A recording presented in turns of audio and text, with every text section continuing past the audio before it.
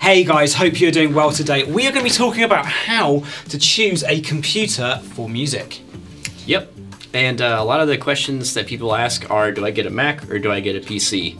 And we're going to talk about that as well as some more in depth questions. Yeah, I think the important thing to take away in short is that while there isn't like a clear choice, Mac or PC, there are some differences that you need to bear in mind. So we're going to get through a few of those, and also then also differences between laptops and desktops, and what you should think about.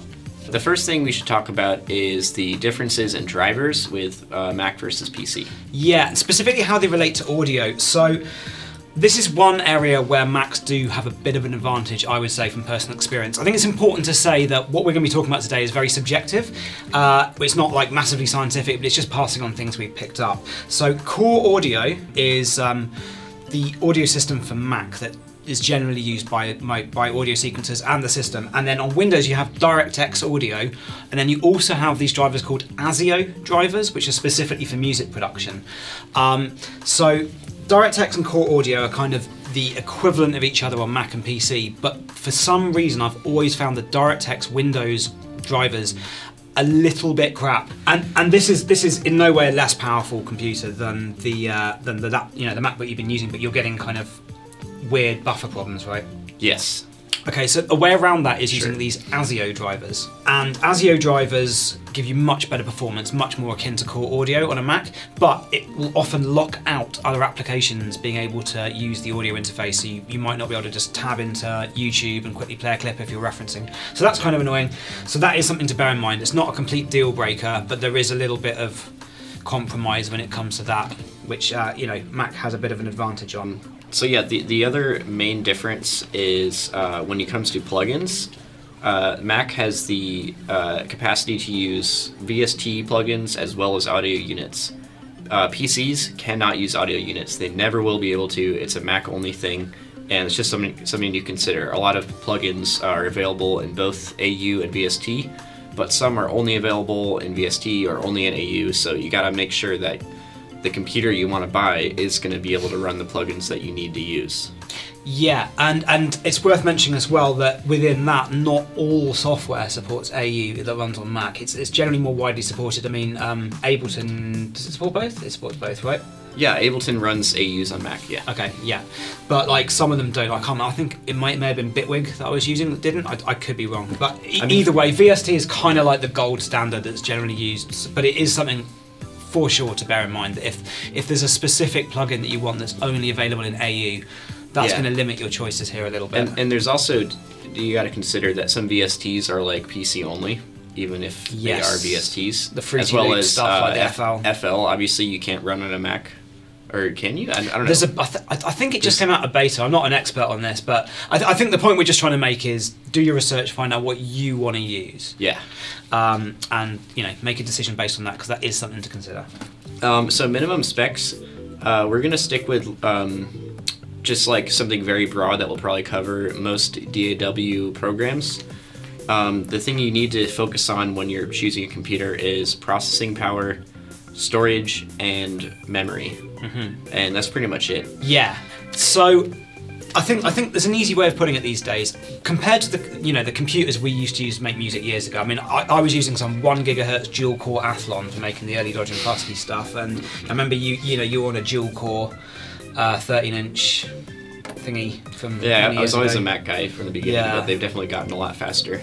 But anyway, I think generally speaking, other than things like Chromebooks and like these kind of like you know very low power portable netbook type things, pretty much any computer you buy today is going to be powerful enough to make music on. Like it's going to be you're Yeah. gonna you're gonna really have to try hard to buy something like as, you know I'm talking anything from like three four hundred dollars upwards will probably be absolutely fine new and used. We'll get to that in another video, but a lot less.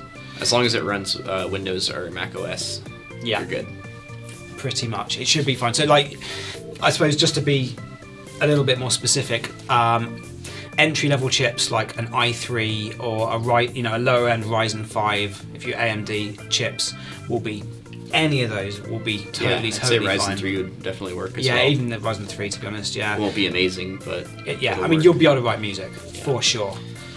Um, and then I guess another thing to think about is storage. Um, make sure you get an SSD. You do not want to be using a hard drive for music production, a mechanical hard drive, because when you're going through searching through sample libraries and stuff like that, you don't want there to just be like delays and loading things. It's really going to annoy you.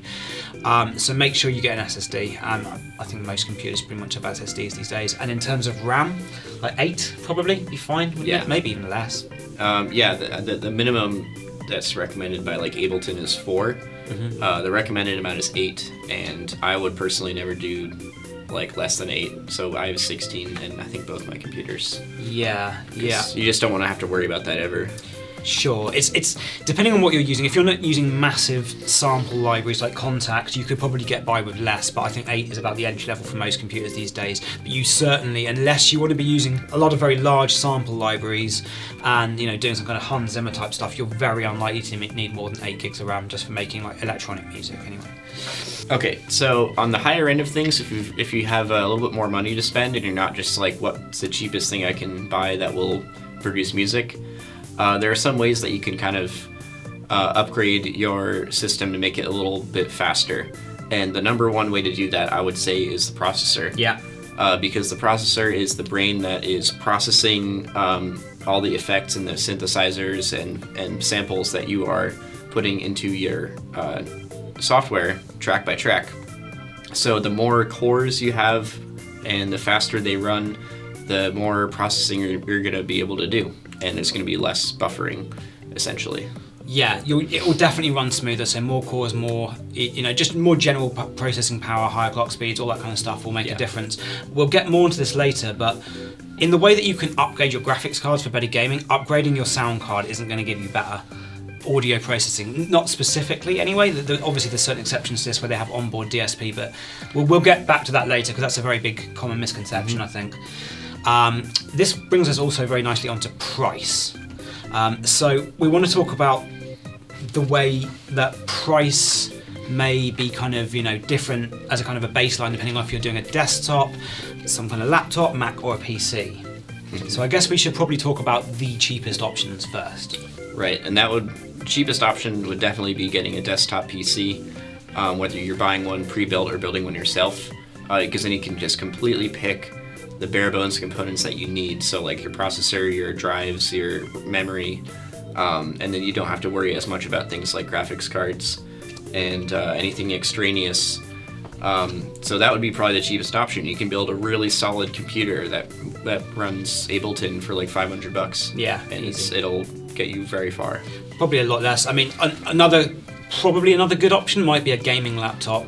Um, it might not have the you know the highest resolution screen or even the nicest colors, but that doesn't really matter for music. And for like 500 bucks, I think like Acer Acer do like a Predator for like 500 or something. Like, I don't know, but it'll it'll be designed for gaming. But the kind of stuff that's going to make it good at gaming will also be useful for you know for music production in terms of power. So that's going to be the cheapest option. I think it's it's a bit of a generalization to say that Macs are overpriced. They can be very overpriced for what you get, particularly when you're like weighing things like compactness. So like an iMac Pro for five grand, the power of that computer you could build easily for far less as a PC. However, in some circumstances, like the more entry-level MacBook Pros and even the entry-level iMacs, considering the quality of the screen you get built in, it's not like a terrible value for money at all.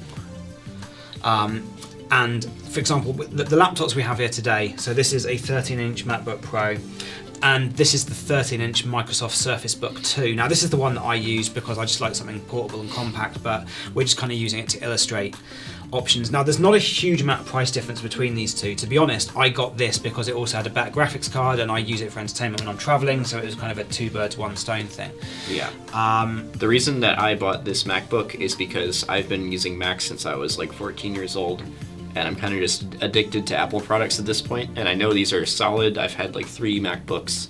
They're great for touring. They have the unibody construction. They're like very solid, um, and I just like them. That said, I would be totally fine and happy using one of these. Um, and I, you know, I really don't have a preference. Like when I buy, when I have to replace this, I might get a PC, I might get another MacBook. Doesn't matter to me. Yeah, it's, it's one of those things. Despite everything we were talking about earlier with the, the audio driver differences, there are, you know, me and Willie still have actually ended up opting to use PCs most of the time for music production. Yeah. Um, I, th- I think ultimately, though, if you're looking at best bang for buck, it's always going to be PC, probably, especially if you get something used. Um, but if you're weighing in something like, for example, durability, which is something we'll get onto in a second, then MacBook Pros are not a bad buy. They're not just kind of priced as a fashion accessory, overpriced without good reason. They're, they're pretty durable, uh, which is the next thing we should talk about, which is obviously much more relevant when you're talking about laptops and desktops, because desktops durability isn't really an issue. Really, you leave them on the desk and hopefully don't knock them over. Yeah, don't spill water Yeah. on them or Mountain Dew or whatever you drink. Yes, like your excellently designed thing with definitely no way of liquid getting in the top. Yeah. It's a very, very safe design. Well, yeah. I just I just try to remember to not put drinks on top of the computer. It's hard sometimes, but Just plants. just plants. Yeah. So one I of the don't thi- water the plant while it's on the computer. Okay, that's good. Well, it's plastic anyway, so that would be a waste of time. I have a real plant at home, Oh, fair enough. so I have to water it. Anyway, so durability um, when you're when you're touring, um, durability is actually a big thing to think about. And I've gone through a lot of different PC laptops, and not many of them are very well made, to be honest, in terms of ruggedness. I mean. Not in terms of kind of consumer grade stuff, anyway. Compared to something that's like made out of solid metal, I've got a 2013 MacBook Pro, which I still have, and still works fine after six years. Um, I've never had a PC laptop last that long ever before, and it's been dropped multiple times. They're pretty tough, so that's one of the things you're paying through, paying for with a with a MacBook Pro. Yeah, they're really good construction, and I always have a case on mine. It's not on there right now for the video, but I've always put cases on my MacBooks because sometimes I will drop them, and that's just really scary. Uh, if you drop one of these, like the metal's immediately going to get uh, scratched up. So put a case on it, pr- protect your investment. Just like 10, 10, 15 bucks goes a long way. Definitely. I mean, there are better built options coming out in the PC world now. So, for example, with this Surface Book 2, this is also a single kind of unibody construction like a MacBook Pro. Um, obviously, everyone's kind of copying Apple's lead on that, but they are definitely getting a lot better. So, it's not like the clear winner it was. In 2013, when I bought mine, there were no PC laptops that you could buy that were like MacBook Pros. They were just in a complete league of their own at that point. So, but, you know, durability is important if you're on the road. If you're at home and you're just making music, it's probably less of a less of an issue, really. One factor to consider when buying a computer is are you going to be able to upgrade it? What's the upgradability of your computer? Um, obviously, um, laptops not very upgradable.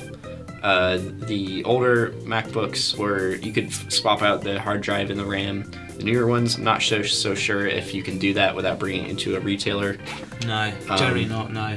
Yeah, That- generally that's not. true of PCs as well. Like, this is completely unupgradable. This is kind of a bit now the sign of the times. Yeah. However, the one clear advantage that PCs have is in this category, um, because even the desktop Macs you can't really do hardly anything to these days. They're so locked down. A lot of them use like laptop components. They can make them all slim and nice looking. Whereas with custom PCs, you can literally change bits in and out whenever you want. Upgrade them bit by bit.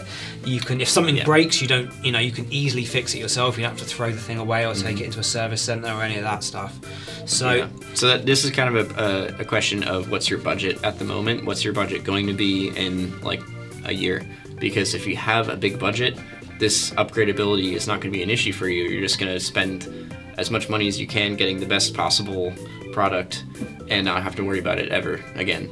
But if you're like on a budget and you want to like get your hands wet, uh, get get your feet wet first, um, and then once you make some more money, maybe upgrade, which is a smart thing to do.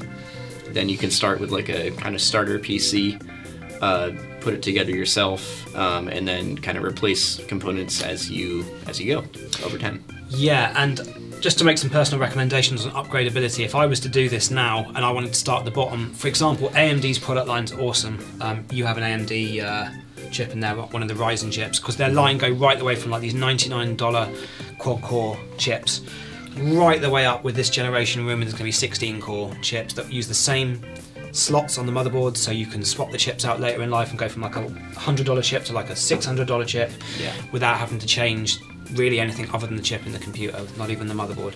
So there's a lot you can you could easily turn like a $500 computer into a $3,000 computer bit by bit if you wanted to, and you're just never going to really be able to do that with a Mac. So that is definitely something to bear in mind, and you know a trade-off that certainly to me was worth it. Just being able to change as I wanted. Yeah, especially with, with AMD too, because like everything is in that same AM4 socket. Yeah. It's just like Intel has more um, varied uh, processor. Yeah, they tend to bring out these new motherboards every year Yeah. that want you need those for the new chips sometimes. Whereas the AMD have committed for like four or five years that Yeah. you'll be able to use any of that that those chips and those motherboards, which is pretty cool.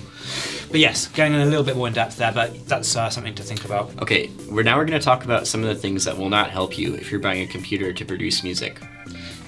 Yes, we want to. A lot of people can easily burn money on stuff that's not really going to make much difference at all.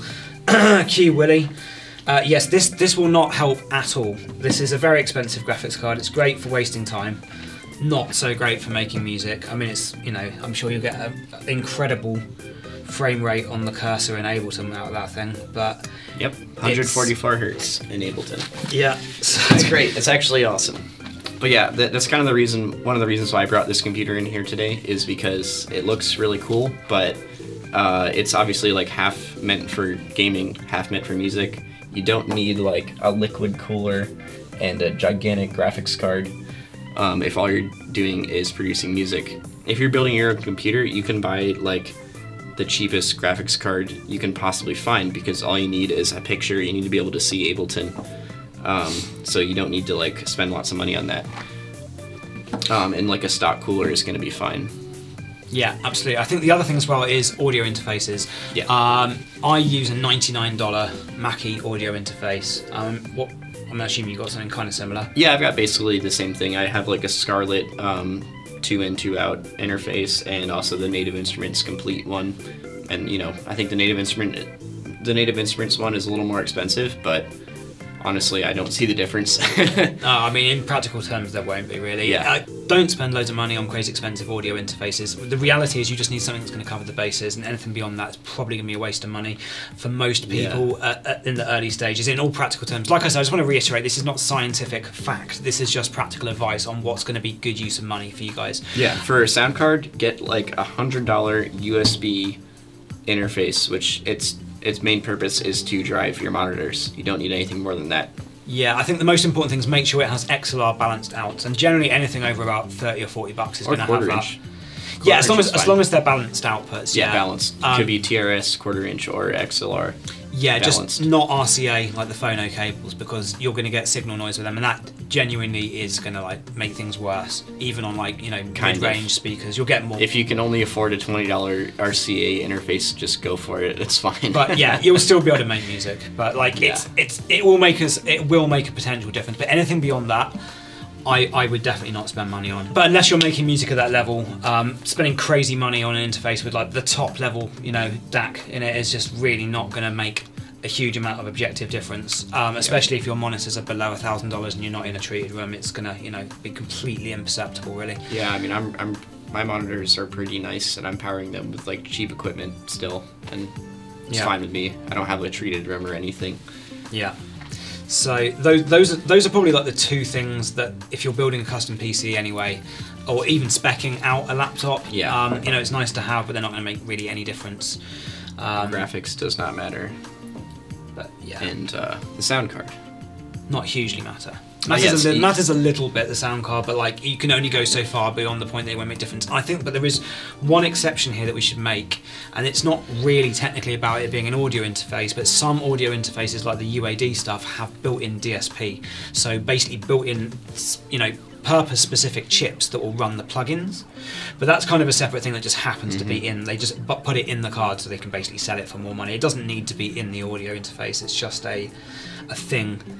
Yeah, That I mean, will- if you really want to use the UAD plugins, which are really good, um, then the UAD interface is great for that. Yeah, but you're you know you- you're paying essentially for a way of, of, of reducing load on your CPU then Yeah. rather than the actual interface itself. It's not like It's very it's costly. going to make it sound better, particularly in a hardware way. It's a costly road, but if uh, if cost doesn't matter, then Oh, if very helpful. if cost doesn't matter, then uh, this would be a very different video. Yeah. We, we want to just kind of make sure that we give you guys a balanced, you know, money is an object type advice. Mm-hmm. So uh, last thing we'll talk about is used or new. Should you buy a new computer or a used or refurbished one? Yeah, and I think there's, especially if you're just getting started and you want, in particular maybe a desktop PC where even if something is a bit worn out, it can be replaced. Buying something used is a really good idea. I remember when when we wrote all the earlier Dodge and Fuski releases, most of those were actually built on a PC that I basically bought used, put a bigger hard drive and a better graphics card in and a USB audio interface, and then that had kind of been my computer, and that would have been a few hundred, something like that. Not a lot of money, but generally speaking, with especially with things like laptops that have you know batteries that will die over time and screens that can get scratched and all that kind of stuff. Um, not to mention the fact that most insurance companies will not insure used laptops because it's such a common, uh, you know, cause of like fraud, like claims on insurance. So if you are getting an expensive laptop, it probably is worth getting that new. I would have thought. Yeah, afford it. for sure. I've never bought a used computer before, personally. Um, since I was kind of a kid, I would just spend my whole budget on getting a new MacBook, and it's just really paid off for me. So I'd, I would say ultimately, if you have the money, if you can save up enough money, I would really recommend the MacBooks. They're amazing. They can do everything. You can use them at home. You can use them on the road. If you're really into PCs and you like saving a little bit of money, then PCs are great too. Obviously, the the laptops are still going to be expensive, um, but yeah, that's just my advice. Yeah, so hopefully this video has given you guys a fairly balanced uh, overview of it. Like I said, I don't think there's a specific obvious answer because it depends on your circumstance and depends on your preferences. So we've really just tried to give you as much insight of our experience of using computers over the you know the last decade or two uh, for music and how that's worked for us. So just to kind of wrap up, I would say if you want the cheapest option, it's got to be a desktop PC or a cheap entry level laptop, maybe something used. If money is less of a concern, MacBook Pros do actually make a great buy and are worth the money in the long run because you'll get so many years of use out of them. So, you know, probably those are kind of where Yeah. the sweet spots lie. And if you are a gamer and you love gaming, just get one of these and make sure it has a nice processor because these this is amazing for producing music as well as playing games. and I guess that kind of leaves the kind of more like expensive PC laptop. And this is really just if you're traveling as well. And this this for me makes a great kind of on the road entertainment thing. So I don't just work; I'll do other stuff on the road. And you know, if you want to play video games. It's great, but for making music, this would actually probably be the worst option of the lot in terms of you know spending money. But Not to say that it's bad. It's no, it's it's just again, it's got a GPU you don't need, and it's not a Mac, so there's a few limitations there. But yeah, they're all perfectly valid options, and we bought all of them with our own money, just to show that really there isn't a clear choice. It's just down to what you want it to do. All right, so uh, thanks for watching this video. I hope it helped uh, educate you a little bit about computers, which one to buy, stuff like that. Yeah, and uh, Willie's done a video with Matt Belly Live about gear selection that you can check out on the channel. And if you guys want us to cover any more stuff, um, tech related, advice related, please just drop a comment in the link below, and we're going to try and do some more of these kind of like, you know, just just talking and sharing our experiences type videos. So let us know what you'd like to be covered.